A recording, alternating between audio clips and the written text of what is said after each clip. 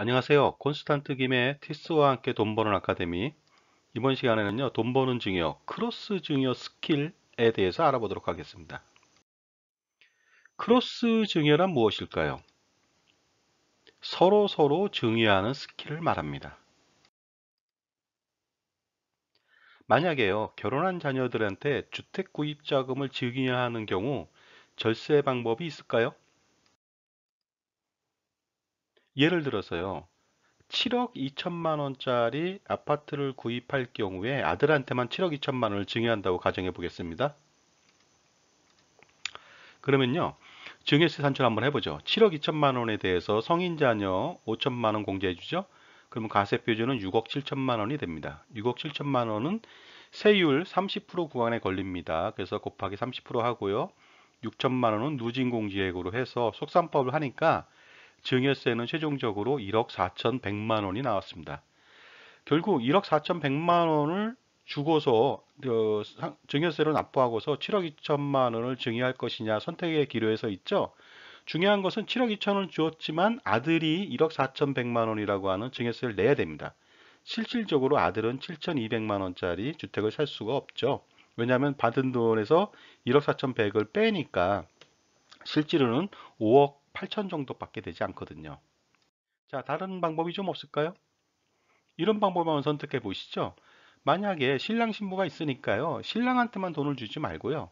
예를 들어서 신랑의 아버지가 아들한테 3억 6천을 증여하고요. 그 다음에 신부의 아버지가 신부한테 3억 6천을 증여하는 것입니다. 그렇게 되면요. 일단은 그 증여자와 수증자가 분산이 됐습니다. 그래서 과태가 좀 낮아질 것으로 판단하는데요. 1인당 계산 한번 해볼까요? 3억 6천만 원에 대해서 5천만 원 빼, 빼니까요. 과세 표준은 3억 1천만 원이 되겠습니다. 거기 세율은 20%로 떨어지죠. 그 누진 공제액 1천만 원을 빼니까 5,200만 원이 됐습니다. 두 명 합쳐봤자 1억 400만 원 정도가 됐습니다. 전에 비해서 3,700만 원 정도가 줄었습니다. 아주 효과적이죠.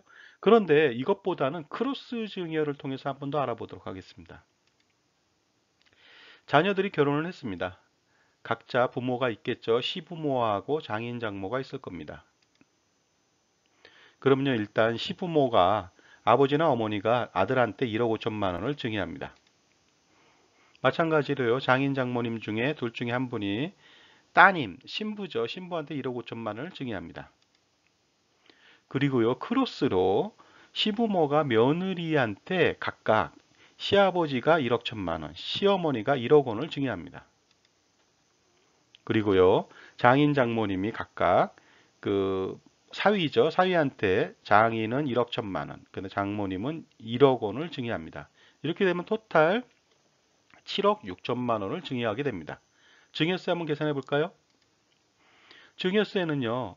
신랑인 경우에는요. 부모님 증여한 것은 1억 5천인데 5천만 원 빼고 10% 1천만 원이 되고요. 장인어른도 뭐 1억 천만 원이지만 기타 친족 천만 원을 빼주니까 마찬가지로 천만 원이 되겠습니다. 장모님은 공제는 못 받지만 1억 원을 증여하니까 10% 천만 원이 되겠습니다. total 3천만 원이고요. 딸, 신부 또한 마찬가지죠. 자기 부모님한테 증여를 1억 5천 받았을 때 5천만 원 빼주면은 공제해주고 10% 천만 원이 되겠고요. 시부모님이 시부모님 중에서 시부님, 그러니까 시아버지가 1억 천 하면 천만 원 공제해주고 1억 원에 대해서 10% 천만 원. 그 다음에 시어머니도 마찬가지로 1억 원 증여하니까 천만 원. total 3천만 원이 들어가니까요. 둘 다 신랑 신부가 이렇게 크로스로 증여를 받게 된다면 6천만 원만 증여세가 발생하게 됩니다. 근데 왜 이렇게 그 시부모님이 증여를 하게 되면 장인 장모님이 증여하거나 이럴 경우에는 왜 합산되지 않을까요? 시부모님, 며느리의 입장에서는 시부모님이죠. 그 다음에 장인 장모님, 그 사위의 입장에서는 장인 장모님입니다. 그런데 인척으로 만났어요. 결혼을 통해서 만난 그런 그 친척이 되겠습니다. 따라서 시부모님과 장인 장모님은 사위와 며느리의 입장에서는 직계 존속이 아닙니다. 기타 친족이 됩니다. 직계 존속이라고 한다면은 예를 들어서 아버지와 어머니가 아들한테 각각 1억 원씩 증여하면 합산해 버리거든요. 그러나 그 장인 장모님은 직계 존속이 아닌 기타 친족이기 때문에 합산하지 않습니다. 바로 이 점을 그 생각해 가지고 나누어서 크로스로 증여를 받는다면 증여세 절세에 커다란 도움이 될 수가 있습니다. 절세액 한번 비교해 봐야죠. 아들한테만 7억 2천만 원을 증여한다면요. 증여세는 1억 4천 100만 원이나 됩니다. 이렇게 생각 없이 막 증여하다 보면 증여세 부담이 생기거든요. 7억 2천을 증여했지만 실제로 아들이 1억 4천 100을 그 증여세로 납부하고 나면은 5억대 정도로 낮춰서 주택을 살 수밖에 없습니다. 그런데 아들, 딸들한테 각자 부모님이 그 3억 6천씩 증여를 한다면 증여세는 조금 줄겠죠. 1억 4백만 원입니다. 3,700만 원을 줄일 수가 있습니다. 그런데요, 크로스를 증여를 한다, 하자는 것이죠. 크로스로 증여를 하면요, 증여세는 6천만 원밖에 발생하지 않습니다. 따라서 전에 비해서 8,100만 원이나 줄일 수가 있죠. 그러니까 무턱대고 아들한테만 증여한다든가 아니면 딸하고 아들한테만 따로 증여한다든가 하는 것보다 cross 증여를 통해서 보다 많은 금액을 줄여 나갈 수가 있을 것 같습니다. 따라서 그 일반적인 증여보다는 cross 증여를 많이 애용해 주시기 바랍니다. 자, 지금까지의 돈 버는 증여 cross 증여 스킬 1편을 마치겠습니다. 콘스탄트 김의 티스와 함께 돈 버는 아카데미를 마치겠습니다. 감사합니다.